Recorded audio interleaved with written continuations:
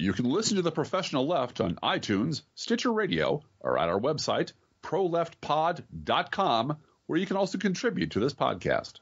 There's a PayPal button at our website, or you can mail us a letter and or contribution at P.O. Box 9133, Springfield, Illinois 62791. This is the podcast for September 1st, 2017. It's not safe for work. Coming to you live from a holding pen far outside every voter focus group in America, it's the professional left with Driftglass and Blue Gal.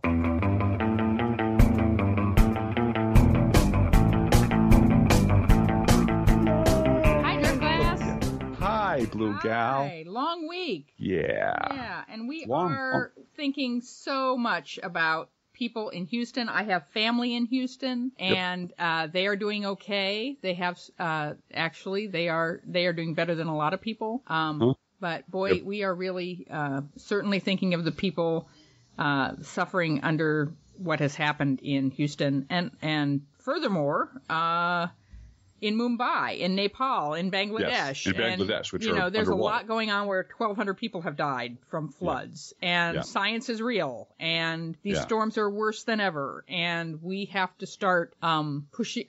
we are we are I say start.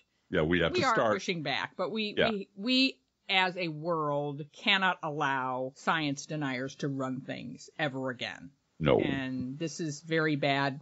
Everything's very bad in terms of the government that we have in power, and you know Yes. that, and we know that. Uh, Um, we're recording this on Thursday afternoon, by the way, uh, because because of stuff. life. Um, because of life, and because we're blowing out of here tomorrow to go pick up uh, Junior Dude Mm-hmm. and bring him back for the weekend and ask him about certain developments that are a lot. No, we're kidding. It's it's, it's all good. Um, we don't know. We don't know what his social his social life has know. definitely changed since he We arrived at college, and that's good. He has new friends, and that's good. So you know, he's, But- his name is Gator now, and he uh, he runs a stable of ladies. I understand. Uh, no. Oh no, that's that's the other guys. yeah, that's the movie. yeah. I think we're. I think he's fine, but he is Yeah. doing. He's doing well in managing things. He only texts me when he can't find something that he packed, and or he needs something else, and that's exactly the way college students are. and, and knowing our as our house knows, our actual residence understands Mm-hmm. that he is returning to us this weekend. This is the the day. Uh, actually, yesterday was the day when the uh, dryer decided to die. yeah. This is it. Really is this week in appliances. Yeah, I, And- and, we're not fundraising for these things No, no, no. anymore because this No. is we know that there's a hurricane and there's a, a whole bunch of other things Send your money. Send asking your money. for In your fact, money, but uh, Drift, as you said to me this morning, we are what got rehabbing our house one, you know, Appliance. uh, One appliance. five hundred and six thousand dollars bill Yeah. at a time, At a and time. this is the year for. Spe- I just have said this is the year for spending money Yeah. we don't have. We're going into debt, and I hate debt, but uh, you know. We're we're getting we're we're making absolutely necessary repairs. We need a furnace. We need Yeah. an air conditioner. We need a washer dryer. Yep. These are things that you know. Tire- well, welcome to first world problems. plumbing, You yeah. know, I'm not. I am not complaining because we are not in Houston. We are not in Mumbai. We are not No. You're warm and dry. Con- We we have healthy kids and they're in school and we're and, we're yeah. incredibly lucky. we're incredibly Um, and the reason Yep. the reason I got on this train was we have we have uh, a number of local listeners, and I want to let them know that tomorrow you will never hear me do this again. uh, but tomorrow, you sh- if you if you can go out to Walmart uh, on I believe Leland Avenue or Leland Street. It's just off Sixth Street. Mm-hmm. Um, a local radio station, local TV, and a bunch of other people are sponsoring uh, a, a day long fundraiser.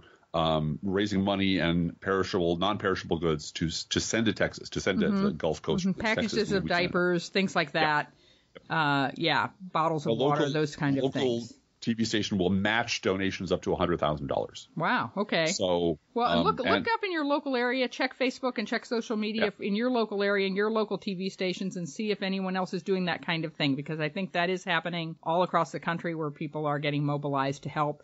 Uh, I did hear the latest I heard from the ground, from not from Trump, not from you know the governor and so forth, but from actual uh, FEMA officers from Texas talking was that they really think that maybe the rain is about to end. And so that then it becomes, you know, recovery rather than rescue. And that is a turning point that's really critical. And uh, we need to keep them in our thoughts uh, and keep them in uh, our checkbooks as well because it's going to take a long time. And I mean, when I think about the family members that I have down there are middle-aged professionals and, uh, you know, they're, lots of people, it turns out in Houston area never lost power. You don't necessarily lose power in a flood. Uh, and, uh, they did not lose power, but, uh, they have nowhere to go to work. And they have nowhere to go to work for how many months now? You know, will Right. they still be, will they be able to go back to work by December? At all, right? Uh, you know, w- will they have a company to go back to work to? Uh, Mm-hmm. these are um, huge questions weighing on people, and the Mm-hmm. impact on the economy and the impact on our environment. And uh, I said to one colleague today, you know, I'm really kind of shocked that gas prices haven't jumped yet. They- they have. is- they have. Okay. They have. They're, they're go, yeah, they're going up. They're go, I believe I understand. I'm getting this from youngest child, mind you, who told me on a car in today. But she was surprised that gas prices and water prices, you know, shot up in the area. I said, well, that's just that's how that that's how that happens. There's a massive amount of refinery capacity in the area, Yeah. um, Yeah, and it's being priced area. into the cost of gas. Yep. So that's that's the way that goes. And just in Um, time for Labor Day weekend when you have to go pick up college students, there's a gas goes up to three dollars instead of two. Yeah. Well, Uh, and I, I was I, I was a played a very very small part in the uh, Chicago effort uh, during Katrina, and it is really impressive when um, the government and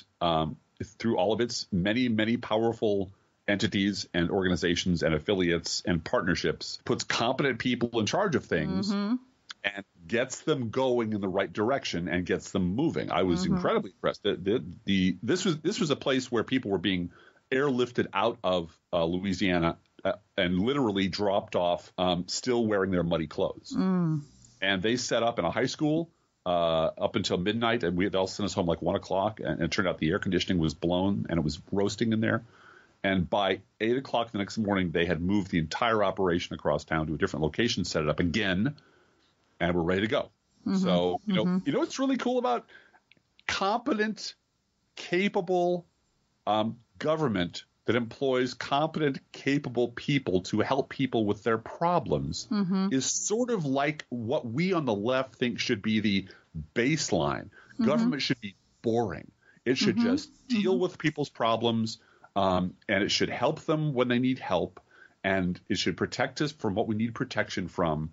And it should be run by competent professionals that we hire every two years and fire but they're not doing their fucking job. But Griffiths, we knew this in Katrina. We Yes, we knew. Yes, we did. I mean, this is you have said this to me many times that the one time when David Brooks just threw up his hands and said, "Oh my God, yeah, I've had it. I I've can't. had it. This is can't defend George incompetence. This anymore. is just Can't. incompetence." It's just it's a crime. Yeah. yeah. And now he recovered nicely. He sure did. Yeah. But the this is this is when you know, and I, I I'm hesitant to say this because I don't want you to have a coronary right in front of me. But um, this is a this is one of those instances when both sides really do appreciate competent government. The two Yeah. times when conservatives really think government ought to come in and get their shit together and Uh-huh. work despite the cost of government Right. is uh, national defense and natural disasters Right. and particularly natural disasters that happen nearby where my, me or my family are. Right. And I, I That's- hate to say that, but it used to be that wasn't the case. It wasn't just me or my family. It wasn't just, you know, when, when the Ted Cruz attitude Right. of, well, New Jersey needs New to Jersey. fend for itself. Well, that's Mike us New York City people, right? Mike Pence saying, you know, Yeah, that I, right. I it breaks my heart, but I don't want my grandkids to pay for this. So let's find places where we should cut and cut and cut because God forbid Let's cut Medicare. Yes, anything. right, Yeah. right, right, Um, right. And that's that's an endemic, and now that's baked into the cake. And Yes, but if is. you but if you unbundle um, why the response to natural disaster is um, a reflex, Mm-hmm. it's to, we want people who have uh, who are suffering Mm-hmm. to be helped. yep. There's no really ideological, there's no philosophical difference between um, helping people in Houston who have been drowned out of their city Mm-hmm. and helping people who who have through no fault of their own or through their financial circumstances are going to go bankrupt on, from medical bills. Yeah, right. There's And no difference. That's right. There's no difference. There's no. Then what you're talking about are people who need assistance. Now, in every so, so now let, us reverse engineer this. Okay. Mm-hmm. The argument you will hear from Republicans all the time against basically every program to help anyone who ever lived who isn't them, who isn't a white person they personally know, is you know welfare queens, corruption, abuse, free stuff, moochers, blah blah blah. All right, I will grant you that every institution made by man has some element of corruption in it. Mm-hmm.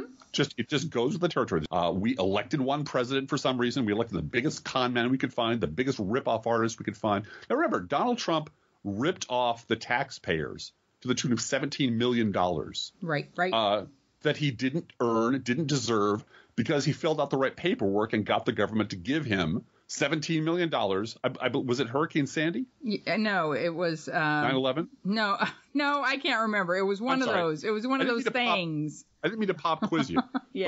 But okay, so Donald Trump ripped off the American taxpayer for seventeen million dollars for let's, something to do with disaster relief. I mm-hmm. will look it up. Oh, yeah, I'll look. All Go right. Should let's should that be the baseline then? Okay, then we should never have disaster relief again. We should undo the program completely. We should cancel it. We should gut it because some asshole ripped off the program. Does anyone seriously think that? Well, of course not. Of course, nobody thinks we shouldn't um, help Texas recover because a few years ago Donald Trump ripped ripped off the American taxpayer because he's a cheating con man moocher. Now, this- now apply the same logic to Medicare, Medicaid, um, affordable college, food stamps, uh, uh, aid for uh, uh, uh, fuel aid, um, housing aid, housing assistance, on and on and on. All the social programs we put in place to help people that, for the most part, do what they're designed to do. And there's occasionally people who rip the system off and abuse the system and game the system. Make the system better. That's great. Make the system in such a way that you, that a Donald Trump can't come along and rip you off. I'm all It for was. I, it was Hurricane Wilma in 2004 2005. Uh, 2005 was Wilma, and he apparently had three thousand dollars worth of damage to Mar-a-Lago and got 17 million. So He cheated. He's a cheater. Yeah. He's a moocher and a cheater. So if you believe that uh, disaster recovery is important enough to let Donald Trump rip you off for $17 million because he's a con man and a scumbag, then by the same logic, you have to accept the premise that Medicare and Medicaid and college and public school and housing and all the fucking rest of it are important enough to the health and safety of this country to tolerate the fact that they're going to be abuses. And you pursue them and you bring them to justice and et cetera. But you don't say, well, uh, uh, Donald Trump's just a, a welfare queen. Let's never give out any assistance to any storm victims ever again because that asshole screwed it up for everybody. Well, and I'd feel a lot better about uh, your argument that we we you know have accountability and we Yes. definitely go after people that cheat the go- the government and the system. If I saw Wells Fargo bankers going to jail, Absolutely. Absolutely. Yeah. you know, Yeah. if you're gonna if you're gonna have a standard of this is this is where we are, you have to be honest in your dealings. And mm-hmm. if you're not honest with in your dealings and you steal from someone, mm-hmm. whether you are stealing on the streets of a city or you're stealing in the Wall Street offices of your bank, uh, there's consequences for that, and that's just not true. That and No. that's never been true. So, No. uh, we need to move on because we're just we're we've Yeah. got a lot to talk about. Well, and, and we, we need to uh, first of all give a shout out to our sponsor. Uh, again, doing a land office business. Uh, we're the good Lord split ya. We're the good Lord split ya. Emergency farewell party planners. Uh, doing great business in Washington this uh, and uh, this week. Customer of the week this week is Donald Trump's former uh, event organizer, a guy named Mr. George G- Gigicos or Gigicos or Gigicos. I'm not sure how to pronounce it, so you know, fire me because I'm not doing my job. uh, who was fired because uh, Donald Trump's Phoenix mob was insufficiently huge and Yeah. because the ratings sucked. And so you got to fire somebody for that because that's really important. And Uh, actually, after- the cameras showed how small the crowd was. That Oh. was the other problem. it was pathetic. And you know the cameras turned around. Yeah, you, the, you know, none of the events did the cameras turn around during the election. That was not allowed. He could he could point back there, but the cameras were stationary. Yeah, and he and he would mock them, even though that was the agreement. He would say, "Ah, they're not going to turn. They're not going to show you." There were no lines outside. There were, and, and no, it was a complete fucking failure, and he had to look out at a half-empty auditorium and lie about it because that's what he does. So his official firing goon sacked Mr. Gigicos because Donald Trump doesn't get his hands dirty sacking people personally. We understand that Mr. Gigicos' replacement is a Mr. Gregory Grigory Potemkin. Am I pronouncing that correctly? um, and we wish him the best of luck with that. Um, Yeah, also, we, we wonder how many Scaramucci's this guy will last. well, and, and I would I would urge you all to look up uh, Gregory Potemkin. Yeah. Um, he's the guy. Look up Gregory Potemkin, Catherine the Great, Potemkin villages, and you know have a nice retroactive laugh on us. Although our listeners are very smart, I'm sure they know They already is. know about Potemkin. Sure.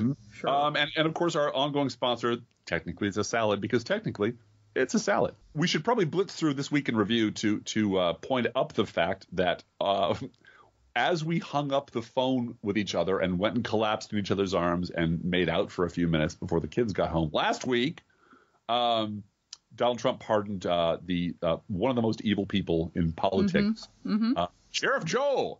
Yeah, his his own Bull Connor, his own jackbooted thug. If you Yeah. if you took a little bit of Bull Connor, a little bit of Fred Phelps, and a whole lot of asshole, and you just made a person, uh, that person would be Joe Arpaio, and and and without uh, him even being sentenced, uh, Donald Trump pardoned him for two reasons. Uh, Donald Trump loves jackbooted authoritarian fascist thugs.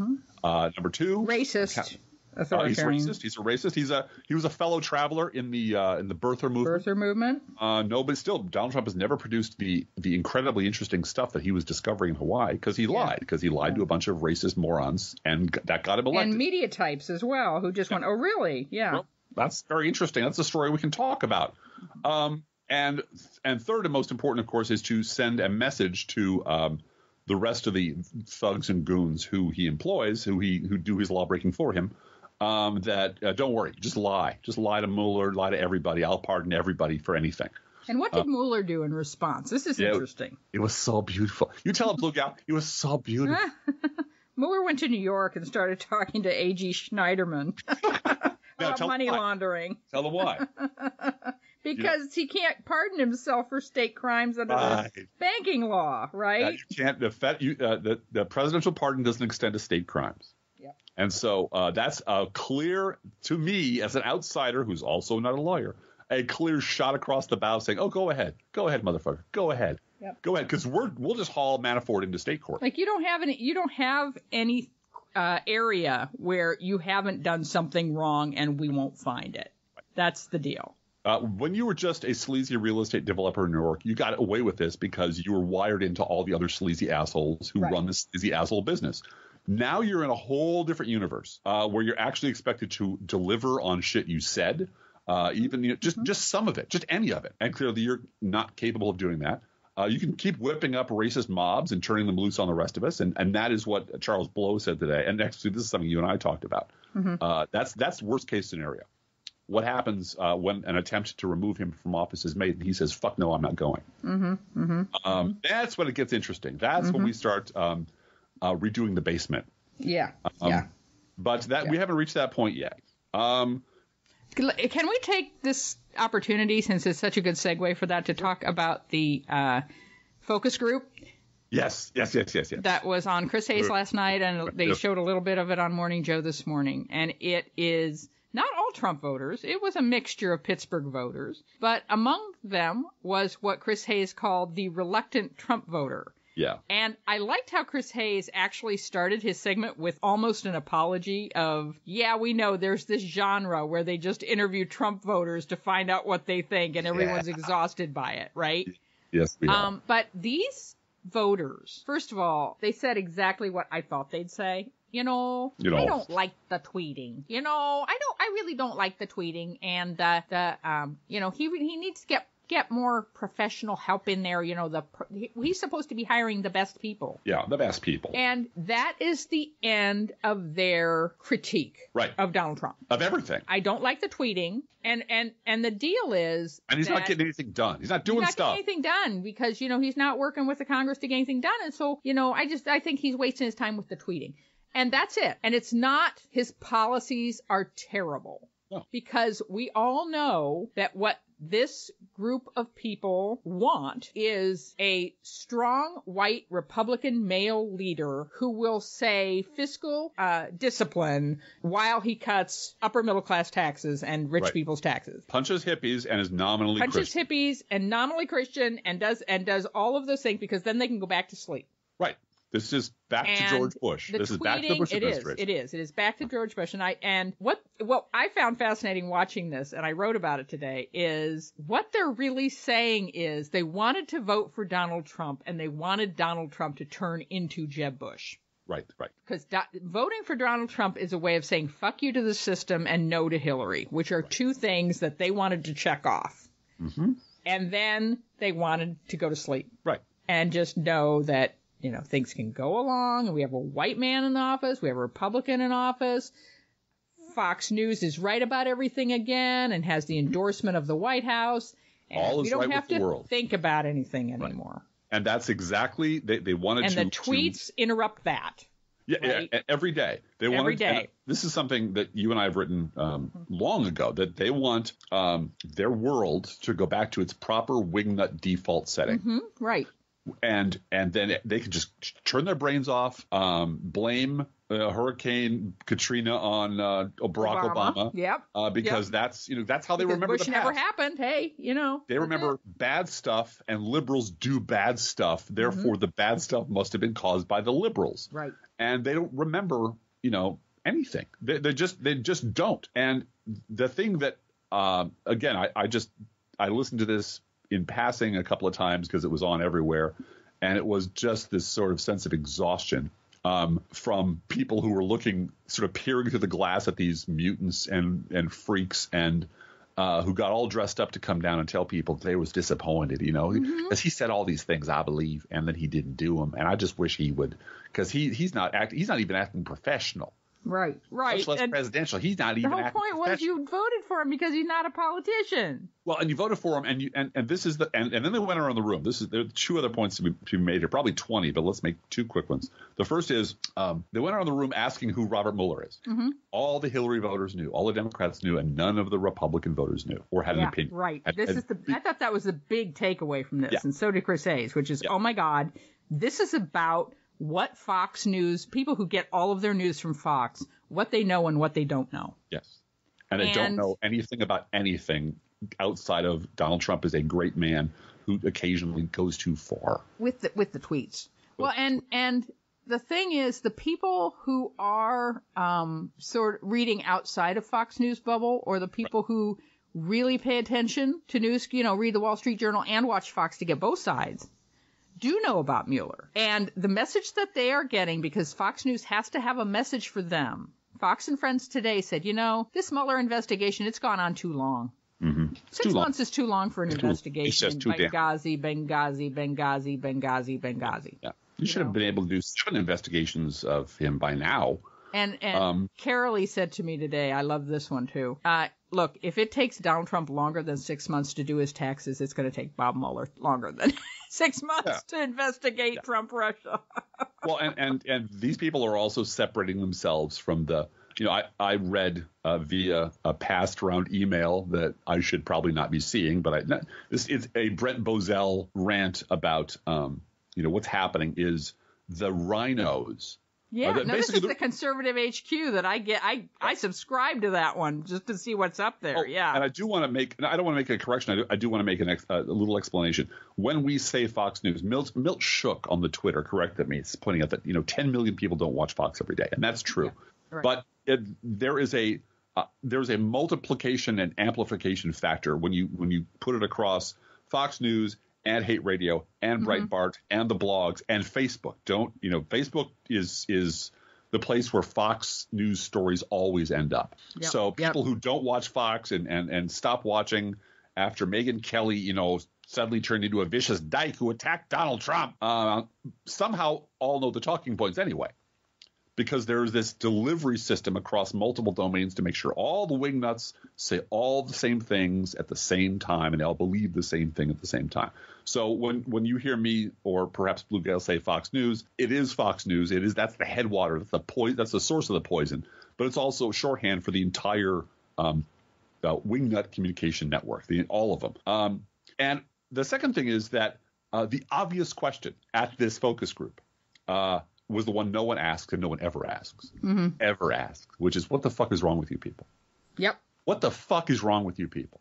Because they don't, because nobody, and you and I know the answer. Every every liberal knows the answer. We know, we can tell you exactly what's wrong with these people. We can trace the the paternity and maternity of what's wrong with these people back 40 years to mm-hmm. exactly how they got this way, exactly how the media failed us, exactly how the Republican Party has gone completely fucking mad in public, and nobody wanted to talk about it because it was too frightening and embarrassing, and it was also a career killer.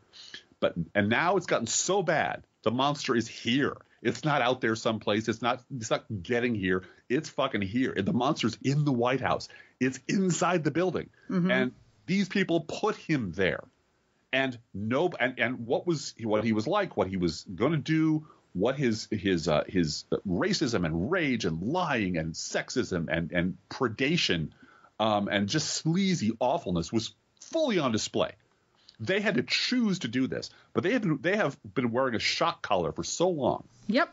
I, I, I, stole that from you in my post today, the Oh. shock collar. Yeah. Yeah. Well, the thought, the mere thought of possibly not voting for the Republican or voting for Hillary Clinton was so traumatizing and mm-hmm. terrifying for mm-hmm. 62 million assholes out there that they just it, it never even entered their heads mm-hmm. because Democrats they've been hearing for for a quarter of a century and longer. Um, when Republicans stopped, just gave up trying to argue policy and started arguing Democrats are monsters, Democrats are evil, Democrats are liars, liberals are are are, are evil, terrorist loving, America hating traitors. And that happened decades ago. And that's all these people have been hearing for, for most of their lives. And now, in this little room where all these voters are sitting, nobody asked the question, what the fuck is wrong with you people? What? And just isolate, focus in on them. And I'm not, I'm not saying threaten them. I'm saying just keep at one or two of them. Ask them, why do you believe such stupid shit? Why do you mm-hmm. believe, why, what is wrong with you that this guy can rub his ass in your face over and over and over again, and you say it smells like roses. What the fuck is wrong with you? Make them cry, make them sad, make them unhappy they came into this room to answer these questions. Make them break down and start yelling because Hillary's a lying lesbian bitch who killed Vince Foster. Make them say it. Don't let them get away with saying, "Well, I don't like his tweets," and you know, it makes me uncomfortable. No, Yep. no. Yep. Make them own it. Make them own it 100% because these people ain't going anywhere. Right. You know, uh, Right. uh, one of the, one Well, of the they're, they're already reinventing themselves as oh, the Oh, yeah. one who didn't like the tweets. You know, I never. I like you know, I, I said back in March I didn't like the tweets. I- so I- that gives me that's my get out of jail free card. Absolutely. And their leader is Joe Scarborough. You know, Right. Absolutely. He's a Democrat. yeah. we've been very hard on Donald Trump on this show. After the years we spent sucking his dick, we suddenly got very. He attacked my girlfriend, and then I got real hard on him. And I and but you know, I absolutely do believe that that's that is why they they were so nice to him is because he covered up their relationship. And I it it just the more I think about it, the more I realize there is this club. You know, as you said many times, there's this club. They all know each other. They all fundraise for each other's little charities. They all pretend they're good people. And what they're really doing is washing each other's backs uh, with the drinking water of our children. Yeah, You know, yeah. basically, and screw you. and they don't care about this is the one thing where um, for entirely opposite reasons we can be on the same page with our with our opponents with with the base voters um, the media by and large the beltway media doesn't care about you at all Right. they care about uh, the the the eyeballs you bring, the products you buy, the ratings you give them, so that they get promotions and raises and money. But they don't give a shit about your you or your life or anything. They they give a shit when you are um, background extras in some disaster that they can film, and that's really it. They don't they don't give a shit about you at all. Um, and uh, they have developed this in entirely self-contained culture where they tell each other fairy tales about what America's really like. Um, I likened it once again to uh, Prince Prospero's palace in uh, Masque of the Red Death. Edgar Allan Poe's Masque of the Red Death. It's a plague raging outside, so Prince Prospero brings his thousands of friends in, seals the gates to keep the plague out, and they Right. party like crazy inside Right. Right. until the plague gets Is there. inside. Right. And then Right. then things get real exciting. Well, the plague is now inside their, their palace, and they don't know what to do about it. So they scream Trump is a Democrat. I mean, he's a that's what Joe Scarborough is doing. Yeah, every fucking day. And and no no acknowledgement whatsoever that these are Republican voters, that this is the Republican Party, that this is the racist Republican Party, and that I mean I just keep going back to 2015 when Trump voters who were registered Republicans and who were going to vote in the New Hampshire primary, regardless of whether Trump was a candidate or not, Right. said, you know, he's saying what I'm thinking. And it is, it's a Breitbart comment section. You've said it many times. It's the Fox News chyron being read aloud. That is Donald Trump.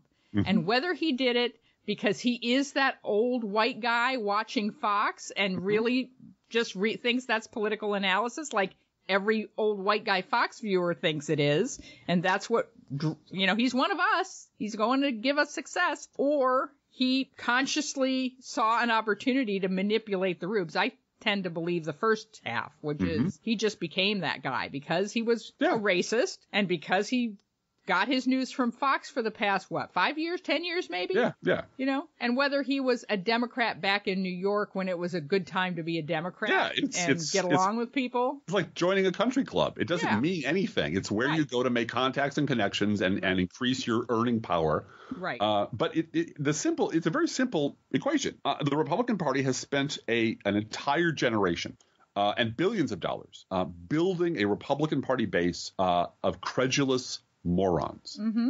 Donald Trump has spent his entire life honing the skill of bilking credulous morons. It's a perfect marriage. It's, they were made for each other, and and the fact that he's a he's a filthy old racist um, is just makes it easier for him to. Uh, stand up and say crazy shit and believe it because he gets it off of Fox News, because he gets it off of Hate Radio, because he gets it off of Breitbart. But he channels these people right back at them. He is their echo chamber. He's not their spokesman. He is their their their, their megaphone. Um, And, and that that thing you wrote in our notes too about 28% of voters of Republicans, I believe it is, Right. isn't it? Or is it voters? No, twenty percent of voters. voters Uh huh. believe that a government shutdown to build the wall is a good idea. Right now, cut to April of 2008. George Bush uh, has screwed up everything he's touched. He's destroyed entire countries. He's let cities drown. He has taken a uh, surplus and turned it into the biggest deficit in history. The global economy is perched on the edge of complete collapse. His approval rating, 28%. Yep. We know who these people are. Yeah. We know exactly who they are, and we know exactly how they got that way. And that is why that question will never be asked in any focus group anywhere. Because once you answer the question, this is like Doctor Who. This is the question that must never be asked. Yeah. and never be answered. Because once you answer the question honestly, then you are you are either part you have to join the devil's army Mm-hmm. and become evil. You have to you consciously decide I'm part of this horrible thing and I'm just gonna embrace it. I'm gonna go with it. Or you have to take direct moral action. You Yeah. have to stand against it. You have to because you realize these people are evil. They've been trained to be terrible people, and they're going to keep being terrible people and voting for terrible things. And what they want most in the world is to is to screw you, to make you cry. These people don't give a shit about anything except rolling back Barack Obama's agenda at mm-hmm. all. They don't care what mm-hmm. effect it has on anybody. They just hate him for being him so fucking much that hating him and undoing him defines their entire identity. That's their politics. Yep. Yep. And you can't reason with people like that. You can stop them, you can halt them, you can vote them out of office, you can shame them in public, but you can't ever fucking reason with these people. And that is a terrifying because that's a third of these people's audience. That's Yeah, a third of the people yeah. who buy their products. And you can Right. never say that on television. Or, you know, Right. you become a pariah like me.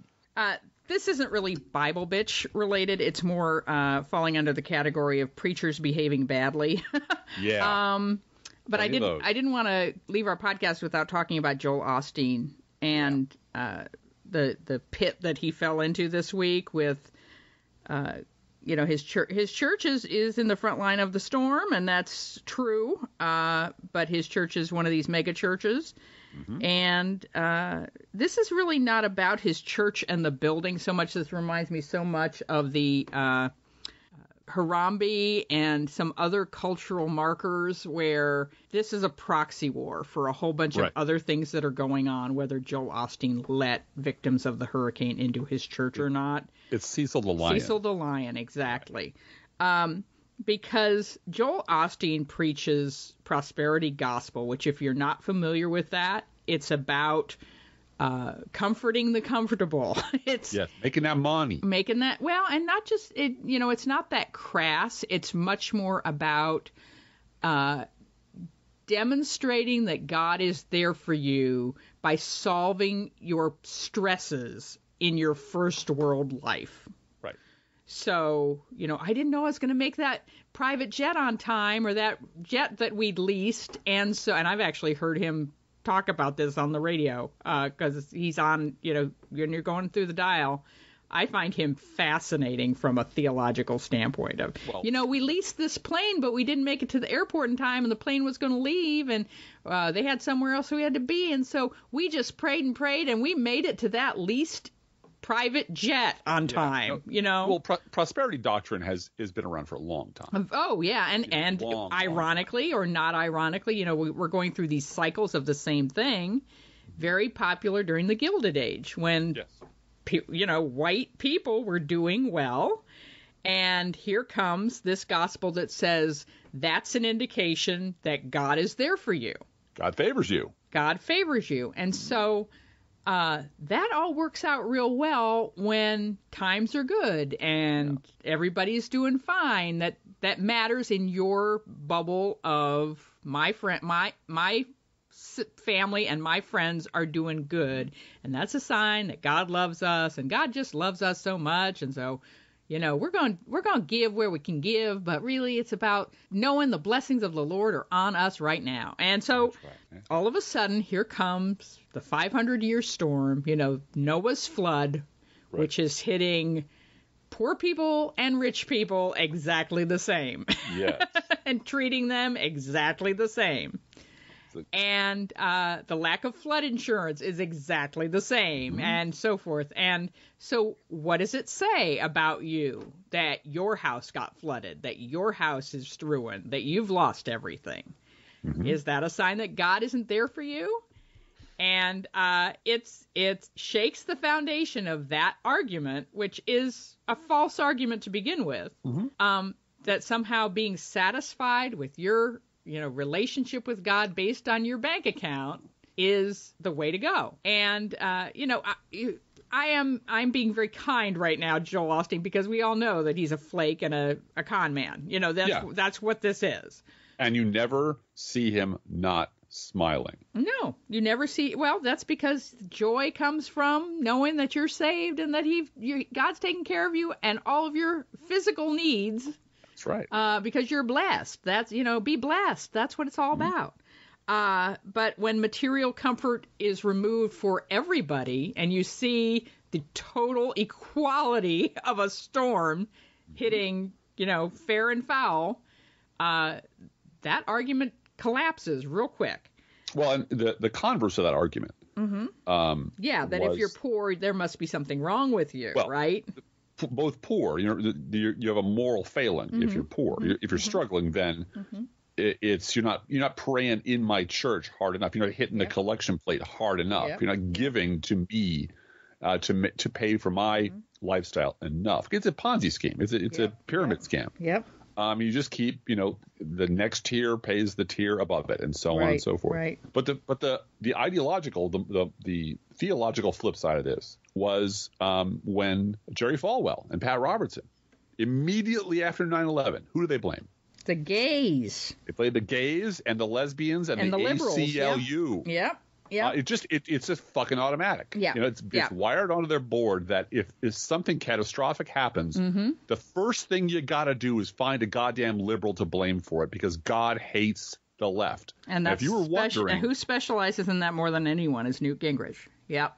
Yep. and if you're wondering why it was impossible for those people in that focus group, the Trumpers, the Mm-hmm. Republicans, to to to go into the bo- uh, voting booth, look at an obvious lying racist con man, and it was physically impossible for them to vote for a Democrat. Mm-hmm. It's because wired onto their board is that exact same reasoning. If because Democrats are the devil. Right. And, and and liberals were to blame for 9/11 and Yeah. So Uh, why would you ever vote for that? And why would you vote for- contrary wise, Driftglass, yes there must be something good about Donald Trump yes because he's a millionaire. He's blessed and highly favored he's, Right. he's a billionaire He's All not. right, so we're going to switch gears. I want to talk about the Nashville statement. Good lord. Okay, go for it, baby. Talk about circling the wagons and, you know, into a very, very teeny tiny circle. Um, this is a group of evangelicals who met in Nashville this week and decided to issue a statement about, you know, the church is under siege and so forth. And sure enough, you know, churches are emptying out. This this empty the pews campaign that came after uh, Charlottesville uh, is actually a trend that's been going on for a few years. And uh, believe me, millennials are uh, not just uh, a source of great consternation and how do we reach these people in corporate boardrooms. Churches are really struggling to figure out how, whether, if, when to get young people to come to church. They just don't want to. And uh, it's it's really clear that to me that the smart churches that are attracting millennials, that are attracting people under 30, Yes. are the ones who are doing something in the community rather Yes. than just trying to get everybody to heaven. And that young people want to make a difference in this world. This world is not in a good shape and they don't they don't care about money because access to housing. I mean it really boils down to if you make it possible for a young adult of childbearing age and you know that keeps going up but uh, i keep thinking about the um, GI Bill which was only for white people Right, you know right. the GI Bill only gave low interest government home owning loans to Right. young white men college as well, and, you And know, it- it was the best. and- it was the single best investment this country made in it the last did hundred because it, it allowed pe- this allowed the baby boom to happen. It Right. allowed people of childbearing age to start a middle class life. Yep. And we don't have that today for 21 to 35 year olds. Don't get that. No. They don't have at the the housing market the way it is in most places where there are any jobs removes the possibility of a single family home for anyone earning what someone under 35 earns most people. Mm-hmm. And so that we have basically removed from possibility a middle class life for millenni- most millennials. Mm-hmm. And so it it's what happened to our generation, the Gen X generation as well. We weren't going to have the CEO job, so we weren't going to care about the CEO job. We weren't Right. going to care was- about management. Management was was never gonna. It was never gonna happen. I I will say, um, speaking for myself and people in my age cohort, which Mm-hmm. are a little above and, and much below me, um, uh, we put in our more than our share of 100 hour weeks. Yeah, right. Right. Um, but it was never going to go to the. We're never going to end up in the boardroom. That was never going to happen. no, it was because just someone 10 years older than you already had that job and was going to Yeah. keep it till they were retired. until they gave it to their grandkid. Right, and then they were going to give it to their grandkid. Exactly, and and I don't know if you noticed, I retweeted it. Um, Forty-one percent of the Harvard freshman class Yes. this year is legacy. Yeah. That is astonishing. There's my word, astonishing. It's astonishing. Incredibly high. And and let me tell you, let me draw a, a quick straight line because I know you want to get back to the Nashville statement. Mm-hmm. A quick straight line between that statistic and two of my posts from this morning, Mm-hmm. um, early early Friday morning. Um, and I won't bore you with them, but it's Andrew Sullivan and David Brooks. And all I can say is the view from the ivory tower is Mm-hmm. not exactly commanding. Right. No. The view from the ivory tower. Andrew Sullivan uh, is paid a shitload of money to write NY, in NY magazine once a week, and I, I counted the words this morning, and he does exactly twice as many words uh, as David Brooks. So his his column but only output- once a week. once a week. So it's Yeah. they both put, produce about sixteen hundred words per week, and they're paid lavishly for both of those. And today, uh, Andrew Sullivan used two hundred and forty-seven of his words to to wag his finger at the unaccountably illegal, illegally immune thug named Donald Trump, and, and, and good for him. And then six hundred and sixty-two words to talk about Antifas Yeah, of course. Of course. because and it, and and he even stops in the middle to say, "I'm not saying that they're equivalent. Of course, there's been no physical violence, and you know, if the right is more dangerous, and and, and the president doesn't, you know, have the back. There's no political backing for these people." But ideologically, they're identical. Oh, and this and is then he goes bullshit. on with the Oh rest my of it. God. And that's because he has the absolute cosseted, cozened, um, um, cocooned privilege Mm-hmm. of being a gay, white, um, British, Tory, conservative, um, libertarian, Catholic douchebag Right. who will never miss a meal. There will always be some asshole in his crew Mm-hmm. who will hire him in New York or Washington D.C. to crank this shit out until the day he keels over. Right. And he sits and he looks, you know, over the rims of his glasses. And he doesn't see my country at all. He has no idea what this Mm-hmm. country does at all. But he has a very clear idea what he thinks the two sides of the battlegrounds are. And they're the same people who, who he was, I'm sure, having pissing matches with in college when he went to Harvard and and let's Oxford. let's add let's add the gender Yes. the Oh, gender God. aspect of that because Andrew Sullivan got his audience from a bunch of boys Mm-hmm. surfing the internet where he had cool links and cool video and cool pictures Absolutely. and a you know uh, British accented gay man uh, on the web doing that at the moment he did that got him his audience. A you know plump married woman doing exactly the same thing would get nothing. And you got to live in So- D.C. or, or New York. Yeah, and you and, and live in the DC. Midwest exactly. gonna um, so I just- let me just add one statement. Yeah, go ahead. Let me just want to add, and this is just no, literally just one sentence. Over on David Brooks's column, he literally turned out the following sentence. It turns out that without an obvious social hierarchy, we all get to feel equally powerless. Okay. Yep. So white privilege uh, everywhere. Speaking of white privilege, uh, these white male older pastors Uh-huh. uh, facing emptying churches have decided that it's the gays' fault. Like you said, you know that this is about the moral failing of the church in standing up to the gays and not standing up for uh, traditional marriage. It's always those people. procreative heterosexual marriage is the only thing that matters. So uh, they have decided to do what lots of groups do when faced with a threat, which is go insular. Right. That's right. and it is uh, both a weakling response and a bullying response at the same time. Mm-hmm. And everybody sees through it outside of their little circle. Uh huh. Everybody. yep. And I just want to share a word with our listeners um, that is among the churches that are doing stuff, that are going out into the community and having diaper drives and, you know, underwear drives for school kids and making sure that their members are tutoring in public schools, are volunteering in public schools, are uh, doing soup kitchens, donating to soup kitchens, providing meals at um, even even providing senior center meals, you know, meals on wheels, that sort of thing.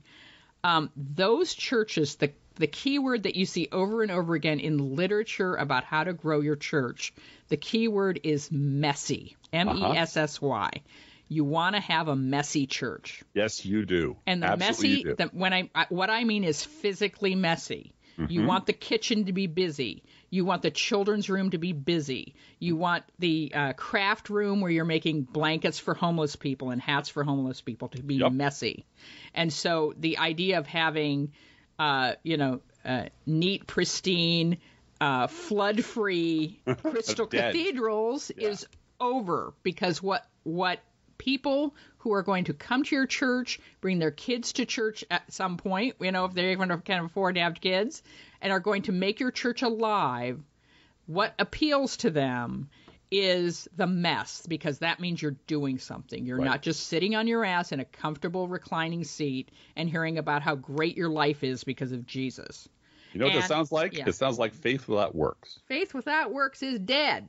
Damn right. and uh, standing up for traditional marriage when most millennials can't afford to get married because of housing costs and Hmm. wages, and we're not doing anything about that, is dead. And that's what I have to say about the Nashville statement. Trump called Chuck Grassley this week He did. for some corn porn, as Wonkette put it. Yeah, yeah, yeah. He wanted to call Chuck to tell him of his great love of biofuels and Iowa corn.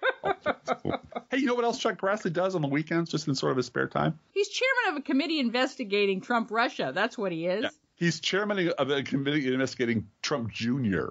Yeah, yeah. meeting with Russia. So suddenly Donald Trump just just felt the need to call him up and saying, Chuck, you know, you, you know, I love you. You know, I love. Corn I mean. I, you know, I'm all behind you on the corn. yeah, yeah. I love corn so much. Uh, what didn't make it through the week uh, was any action on pay equity. Uh, Thanks, Ivanka. Ivanka, I thought that who was such an important thing to her was women in the workplace. right. Well, she was going to be the bigot whisperer. Yeah, She's going to sit in the White House and say, "But Daddy, treating ladies mean and wrong is bad." And he was going to say, "Oh, pumpkin, I suppose this one time we'll just get her done for you." And she would go, "Thank you, Daddy." That was her job. That's her. Yeah. That's supposed to be Yeah. her job. That's why she has security clearances and gets to sit in on important meetings because that's her fucking job. And you know what? Ivanka, you had one job. You had one job, and you fucked it up because Mm-hmm. Yep. guess what got rolled back this week? Yeah, well, and it's your it's women who are you Right. get pay equity, and women who are not you don't. And this Right. is Sarah Palin syndrome. This is absolutely Sarah Palin syndrome. Uh-huh. And it is not sisterhood is powerful. This is this is not. I mean, if she really cared about women and women's rights and so forth, she'd be a very different person. But at Right. the very least, it, it shocks me. I mean, this is this shows you that women Republicans, many women Republicans, have no principles whatsoever. Because women Republicans who really care about the issues they claim to care about would be for universal maternal leave. Absolutely, yes. You know, Period. a woman has a right to bond with her baby. Mm-hmm. Uh, she should have paid time off to do that. Yes. And 75% of women who deliver a baby, Mm-hmm. 75% go back to work in 10 days. Yeah. 10 work days because They that's have- two weeks, that's their two weeks vacation. And they are saving vacation time to give birth. Right. Yep. That is, that would not be happening if men got pregnant. no, and this is what again. Absolutely, Ivanka is the the sisterhood of the Chinese patents. Oh, and, know? and and let me make it clear. Ivanka went back to work after her third child in under 10 days Yeah. because she had 24-hour nannies anyway. There you go. You have if And as work long is as you're, fi- work is was where I'm glamorous. So you know, I'm I'm just gonna go back to work. I can And- hand off my child in complete confidence and safety Uh, yep. to the massive And- staff I have hired to tend to him because he is a future prince. I have no problem with with wealthy women having nannies. I understand that there are people who have a lot of responsibility out there, uh, work responsibilities, and they go back to work. And I understand that that people do that. I'm not calling anyone a bad mother for doing that. No, I am saying pay attention and and uh, endorse the rights of women who do not have that. Well, and as And with oh, can, um, I'm to please. talking for Yeah, just yeah. a minute. yeah, Uh, one of the things that's been highlighted by Hurricane Harvey is poverty. People who can't evacuate because they have no car. People who can't evacuate because they have no money. yep, They don't have money for a hotel. They don't know where to go. They don't have internet in their homes. Mhm. Uh, and uh, there was a woman who worked. This is all over Twitter. A woman who was working in a Waffle House and was stuck in a Waffle House for two days and made twenty dollars in tips Mhm. in two whole days. That was her income because she makes, you know, three dollars and seventeen cents or something an hour Mm-hmm. before tips, and just highlighting that, you know, the rest, as I said to many people on Twitter, were saying this can't be legal. This can't be legal. Oh, all kinds of things can be legal if the Restaurant Association of America owns the Congress, and they do. Mhm. Then uh, restaurant wages can be as low as you want. And right where did Donald Trump give his tax cut speech after he left Texas? in Springfield, Missouri. Missouri. hmm And the Republican Party of Missouri hmm decided to celebrate that by tweeting out how wonderful it is that Donald Trump wants to put money in the pockets of average Americans. Yeah, that's a lie. The Republican state legislature of Missouri decided that cities cannot decide what the minimum wage is in their city. Hmm And they cut the minimum wage in St. Louis back to 7.95 an hour and and cut back restaurant wages back to 3 something Yeah, back to ridiculous. last year. hmm So, uh no, they don't want more money in your pocket. They want No, more they- money in their pocket. Yeah. Well, and, and and the hypocrisy is stunning still to me Well- and i'm well- glad because that means i'm still human i haven't Yeah. i haven't given up Well, when you when you boil at like as with the hurricane, why give money to Texas at all? Why support them at all? You know, what's the what you know what's the what's the ethical principle? What's the moral principle at you know? Are you play? asking me? Because we both know the answer. No, no. Well, that's what we that's what we talked about earlier. It's oh, Mm-hmm. Yeah. the government should be around to help people who need help. Right. That's their purpose. That's that's why you have governments, and that's why you establish governments among people. Mm-hmm. Um, what is the um, ethical? Um, what is the reason that Ivanka Trump gave her child to nannies to be cared for? Yeah. She believes at some level that you don't just leave a baby in a drawer and go to work. Right. You have No, to have not. you have to have some support system that lets you have the luxury, in her case, uh, of going off to work if you choose to, because you know your child's being taken care of. Right. It, it is where you become a sociopath that you cannot imagine anyone other than your own socioeconomic group having that right. Mm-hmm, mm-hmm. That everyone else is just fucked and I don't really care. I care that my rich friends are able to do what they want to do with their mm-hmm. lives and their bodies. But if you're poor and you might need extended time with your child, or you might need, I don't know, daycare, Yeah. a decent school, you know, those things are are the are the are the equivalent of having a nanny and a support staff taking care of your child, and you can't extend your empathy one inch to mm-hmm. say, you know what, I was born to this life. They're born to a different life, and maybe they should have a little bit of what I have because that's mm-hmm. what being human means. If you can't make that jump, you have no business being anywhere near anything where you get to decide the fates of other people. Well, and it is a, a, a belief. Well, it, and it is a belief that your problems aren't my problems. It's a belief that there is no such thing as society, as Margaret Thatcher famously said. Yeah.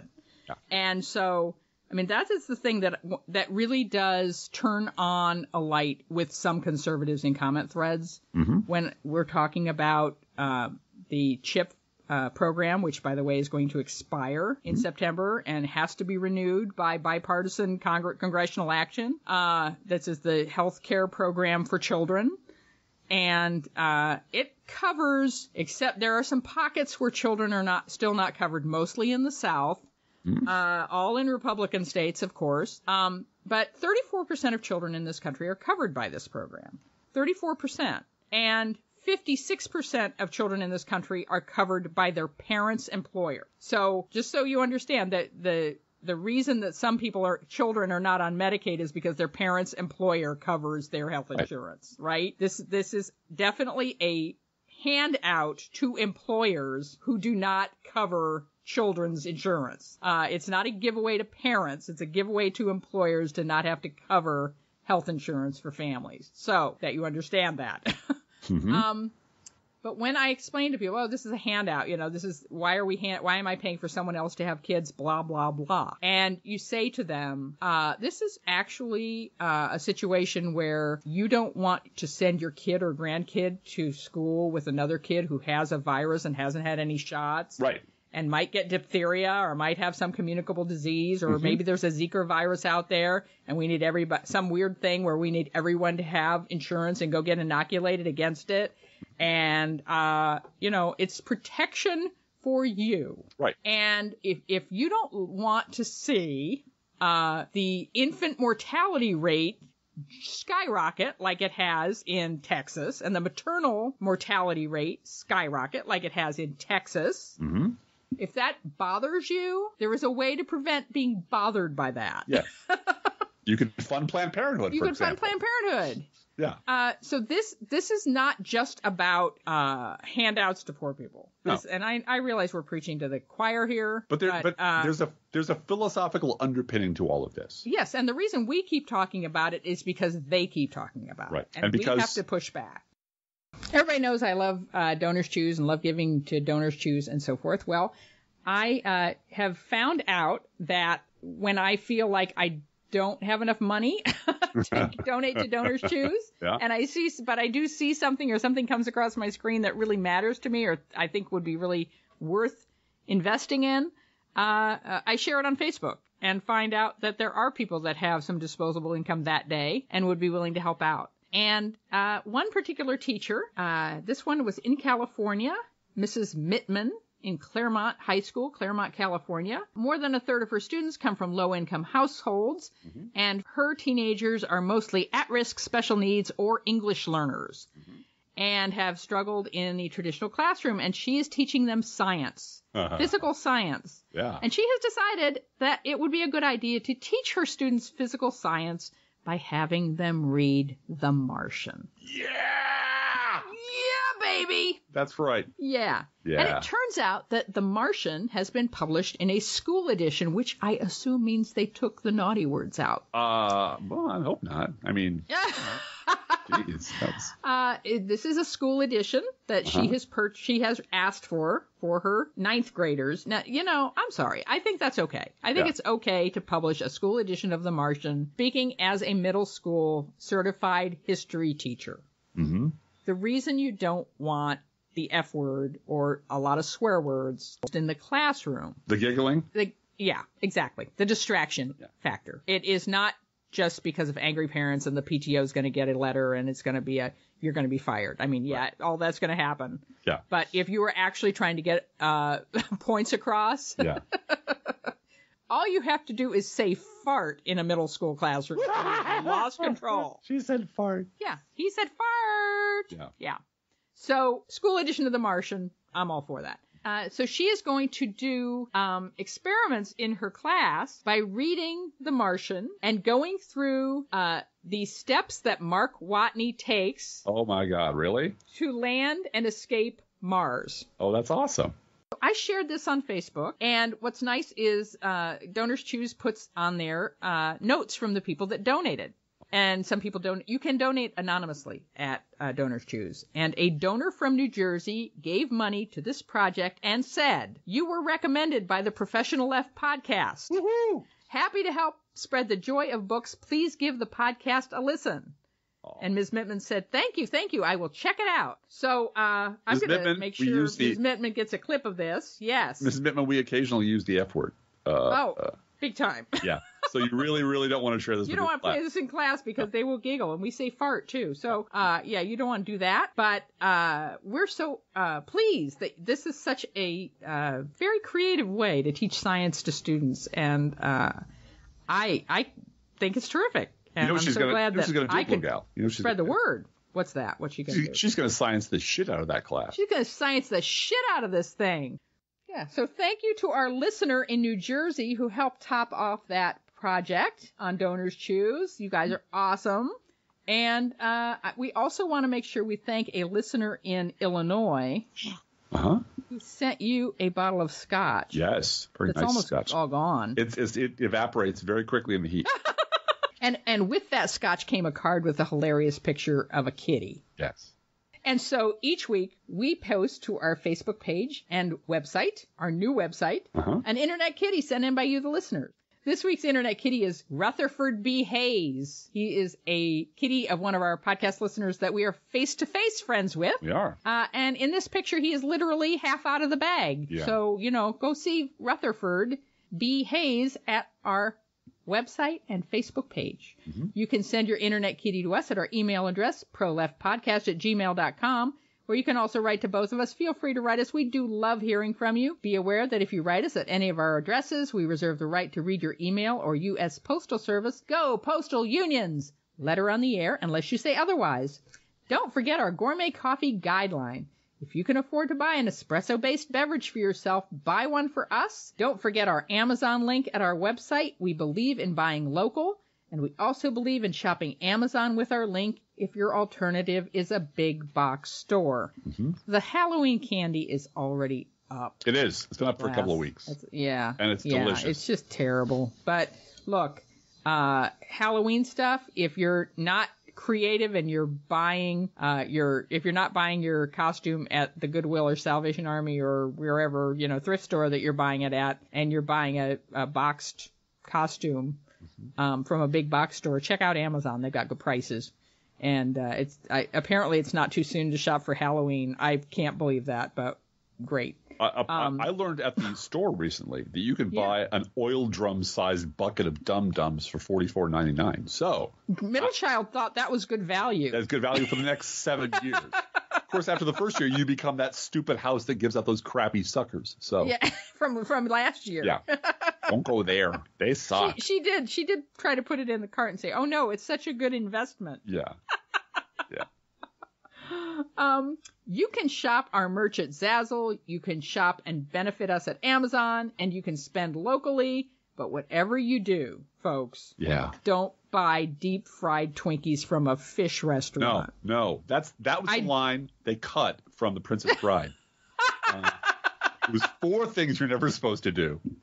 Um, I can't believe that the fast food fish ros- restaurant chain yeah, is selling deep fried Twinkies. yeah. Why would you not believe that, Blue Gal? I know. It seems like a very America. seems like a real it seems like a real thing in the world, given the world we have. Approximately 1% of our listeners support this podcast with a contribution, and you give all over the place to Donors Choose. You're giving down to the hurricane. You're doing exactly everything you need to do.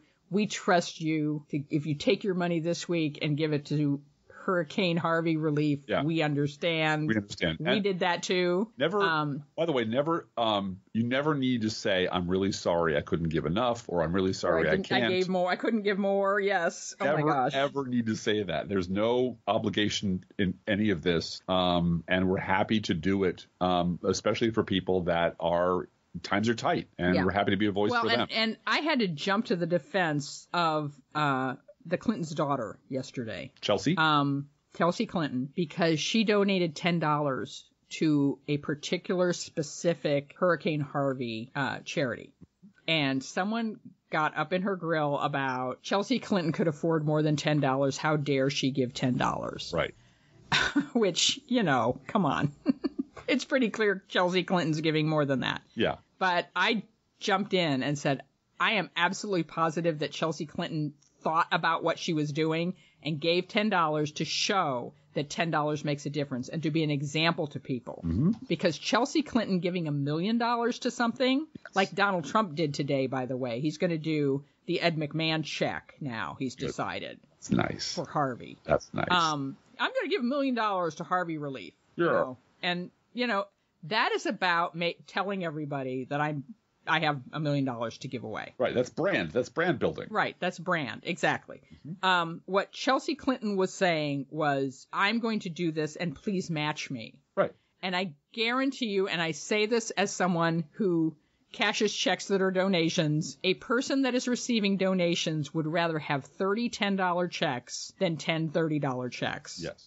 Or one $300 check. Yep. Uh, spread it out, make a difference, and that way they can hit you up next time. They can hit you up when the next hurricane comes because they need bodies of people who, because not everybody can give all the time. no, not at all. And so you need that, you need crowdsourcing, you need that expansion of giving rather than depending on, you know, Yeah. 71 year old millionaires who want to make a point Right. that day and come up with this idea and decide to do it. You can't depend on Donald Trump to do this every time. Well, and, and But, as I know yeah. from being on like a finance committee, for example, um, the the Yeah. the best indicator of future giving is Mm-hmm. past giving. Right, right. Even if it's five bucks, even if it's two bucks, Right. it's it, Five bucks makes a difference. That's my that is constantly my refrain. Five and- bucks and- makes a and it- difference. And it, and it habituates you towards the idea that you can do a little bit and it means an enormous amount. It does. And so you shouldn't Yep. feel, you know, when when when we leave the the store and the fireman out there with the boot, uh, you know, I try to make sure Mm-hmm. Right. that, that the middle child has a couple of bucks because it should Yeah. be an, it should be a normal course of of your day of, of who you are as a Mm-hmm. that you see need around you. And to ex, to the extent that you can you work towards alleviating it and making the world a better place a little bit at Mm-hmm. a time I remember when I was first divorced and I was on food stamps and I was on fuel assistance and I was living off of social security, kid, the kids' social security and prayers. You know, I Yeah. literally, I mean, I didn't have a job. I didn't have, I was, you know, I had folders and was going to social service agencies trying to figure out what to do. And we would get, I would get my three kids out of the car and there would be, uh, you know, them, them doing a fundraiser for kids or something, some local charity in front of the grocery store doing something. And I would hand each kid a coin and whether it was a dime or a pen, youngest child was four, Yeah. so she got a penny because she was going to drop it from here to the street to the store, right? Uh, but I gave each child a coin to to give, mm-hmm. and I remember middle child saying, "This is for people who are less fortunate." Yeah. Yeah. She had the ten dollar vocabulary. She didn't have. We didn't have ten dollars to scrape together, but she had the ten dollar vocabulary. Yeah.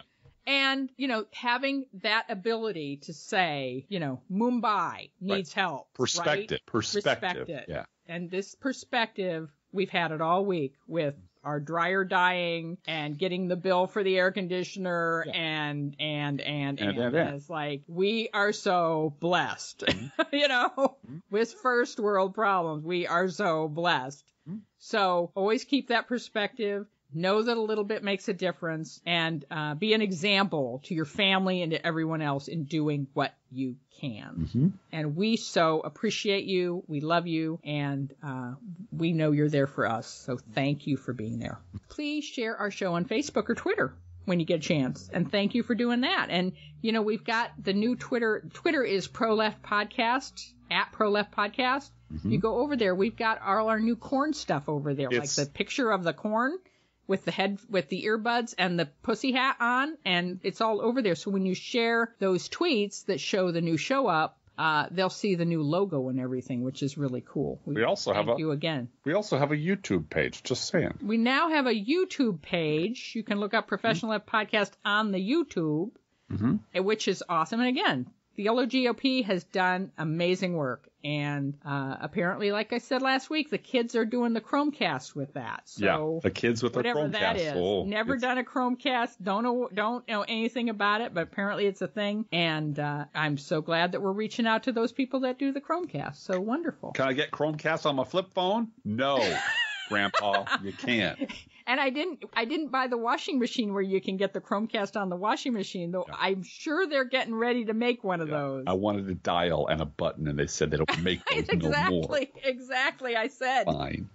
Fine. can I have one that does not have electronics in it? And they went, Right. no. No. Here's the manual. Fuck you. Manual. Manual. I'll take my clothes down to the river and beat them on a rock before I read a goddamn manual about how to run a goddamn. See, I'm getting, I'm practicing to be a curmudgeon. So You are Good at doing a great job. you know what helps? You know what helps? More scotch. More scotch would really help. Anyway, If you want Driftglass to be more grumpy now, yeah. send another bottle of that really good scotch. That was you did enjoy that. I, really will did. say. I really did. I, You I- really I did. have a, you know, have one finger's worth, a couple ice cubes, you know, in the evening, and it just was wonderful. Hey, Driftglass. Yeah. How are the internet kitties doing this week? You know, the Internet Kitties are taking a time machine forward to when the transgender ban study is completed, and they may never be back. Let's think about living. Think about living. Let's think about loving. Think about loving. Let's think about the hooping and the hopping and the popping and the loving, loving, loving. Let's forget about the wine and the crying, the shooting and the dying, and the fellow with the switchblade knife. Let's think about living. Let's think about life. The Professional Left podcast is recorded under a Creative Commons license. Copyright 2017 Driftglass Blue Gal Podcast. Fake news, sparkle farters.